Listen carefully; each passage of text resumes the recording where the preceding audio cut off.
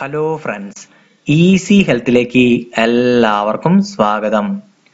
കുടുംബത്തിൽ ഐശ്വര്യവും സമൃദ്ധിയും കൊണ്ടുവരുന്നതിന് വേണ്ടി ചില കാര്യങ്ങൾ ശ്രദ്ധിച്ചാൽ നമുക്ക് ജീവിതത്തിൽ പ്രതീക്ഷിച്ചതിനേക്കാൾ ഉയരത്തിൽ എത്തുന്നതിന് വേണ്ടി കഴിയുന്നു.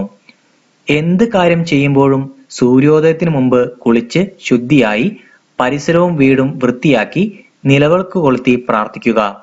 ഇത്തരം പ്രാർത്ഥനയിലൂടെ തന്നെ നമ്മുടെ ജീവിതത്തിൽ ഉണ്ടാകുന്ന നെഗറ്റീവ് എനർജിയെ നമുക്ക് ഇല്ലാതാക്കാൻ സാധിക്കുന്നു.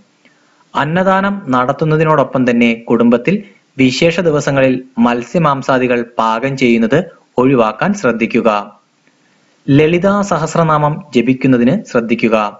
ഒരിക്കലും മറ്റുള്ളവരെ കുറ്റപ്പെടുത്തുന്നതിനോ പരദൂഷണം പറയുന്നതിനോ വേണ്ടി ശ്രമിക്കരുത്. ആ സമയം കൂടി ഈശ്വര പ്രാർത്ഥന നടത്തുക. സന്ധ്യാസമയത്ത് വിളക്ക് കൊളുത്തിയ ശേഷം വേണം അഷ്ടഗന്ധം പുകയ്ക്കുന്നതിന്.